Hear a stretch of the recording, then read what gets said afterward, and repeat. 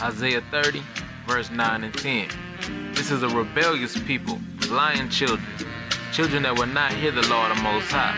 Which say to the seers, See not, and to the prophets, prophesy not to us right things, but speak unto us smooth things. Prophesy deceits.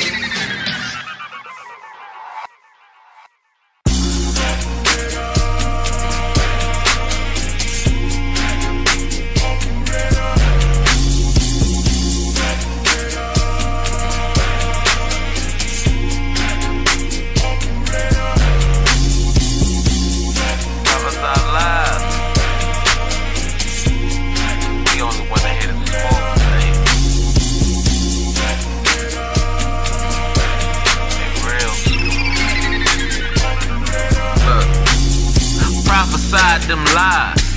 Don't bring that truth. Don't tell me my people are dying. Don't tell me what I need to do.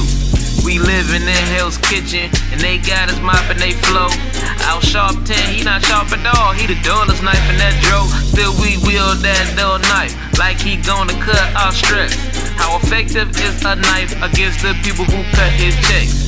They killed Malcolm X and MLK cause he was too faking. threw Farrakhan up in the mix and replaced them with two agents.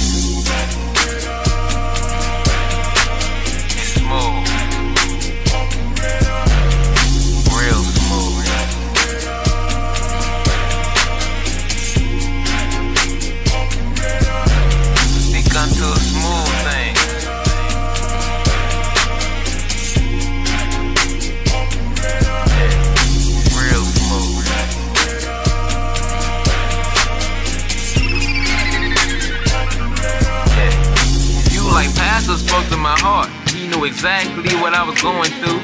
Deuteronomy 28, that whole chapter, now read it through. When you walk up in your church, then pastor give you that verse. Then he say everything is good now, just clap your hands and twerk. If preacher said put down the book, just let him speak, cause you don't need it. You will start speaking in tongues, and what you call the Holy Ghost, y'all will receive it. If pastor said you not saved, it's law to keep, y'all wouldn't believe it. Y'all running out screaming that he's the devil, cause you only saved by the blood of Jesus. Y'all smooth. Real smooth.